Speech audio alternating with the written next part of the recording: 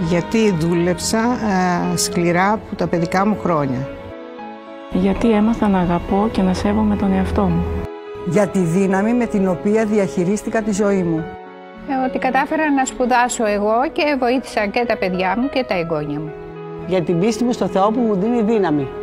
Ότι συμφιλιώθηκα με τον εαυτό μου. Που ασχολούμαι με εθελοντικές δράσεις και βοηθάω όσο μπορώ. Που δημιούργησα σχέσεις ζωής. Για τον αγώνα που έδωσα στη ζωή μου και είμαι οικονομικά ανεξάρτητη. Να είμαι δυνατή για να τα βγάζω πέρα στη ζωή μου.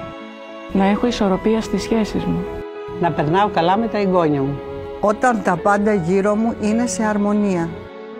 Ευτυχία είναι όταν έχω τα τρία εγγόνια στην αγκαλιά μου και με κοιτάζουν στα μάτια. Να αναγνωρίζουν οι δικοί μου άνθρωποι την προσφορά μου. Να έχω την υγεία μου και τίποτα άλλο. Να απολαμβάνω το κάθε τι που είναι γύρω μου. Να βλέπω το ξημέρωμα, την ανατολή του ήλιου και το ηλιοβασίλεμά του.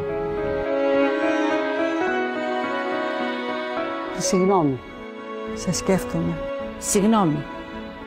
Καλημέρα. Με συγχωρείς. Ότι είμαι καλός άνθρωπος. Σ' αγαπώ. Συγχώρεσέ με. Σε ευχαριστώ.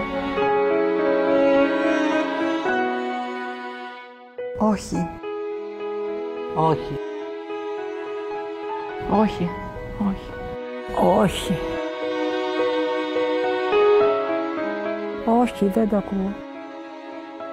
Όχι. Όχι. Όχι.